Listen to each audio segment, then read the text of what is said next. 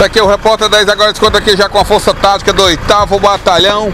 Moto roubada, um menor de idade que já tem passagem pela polícia, já é homicida e tá aqui a motocicleta de placa ODX 5127. Tá aqui os policiais da Força Tática.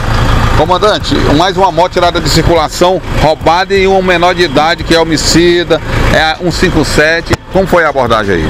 A abordagem foi o seguinte, eles roubaram essa moto hoje, moto meu dia, e o proprietário foi até a e eles andando na moto, avistados, ligaram para nossa viatura tática, do oitavo batalhão, nós averiguar, chegamos lá, a moto estava abandonada, ele saiu correndo, pedimos apoio a outras viaturas, a viatura da choque montado, pegou o elemento, elemento esse que é muito perigoso, Josué, o Goião, a homicida, matou dois meses atrás, matou um mototaxista no seu dois, perversamente, para roubar e não chegou e matou o rapaz.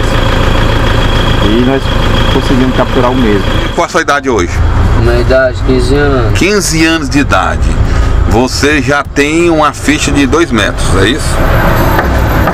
Você matou um mototaxista, um pai de família, para roubar motocicleta. Você usou qual tipo de instrumento? Um, um, ne- um negócio que pega na bala de um tiro. Como assim? Que negócio é esse? É tipo um, assim, falsificado. Quem foi que fez essa arma? Quem foi que fez? Eu comprei. Pagou quanto? Paguei 300 conto. Qual o procedimento agora? Procedimento, eu vou até de flagrante aqui para dar cumprimento ao mandado de prisão dele. Então tá aí, menor de idade, vulgo Oião.